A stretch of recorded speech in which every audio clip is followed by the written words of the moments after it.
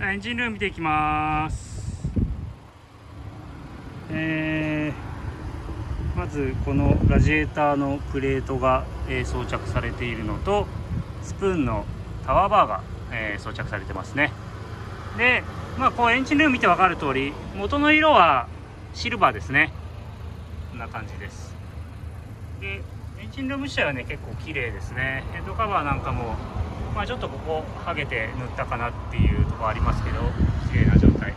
GS レーシングのオイルフィラーキャップが、えー、装着されてます。はい。ではエンジンかけてみます。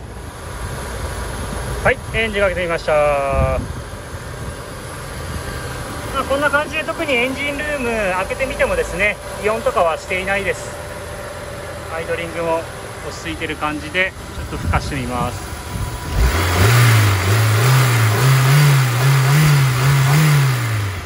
結構ねレスポンスもいい感じですね。はい以上エンジンルームでした。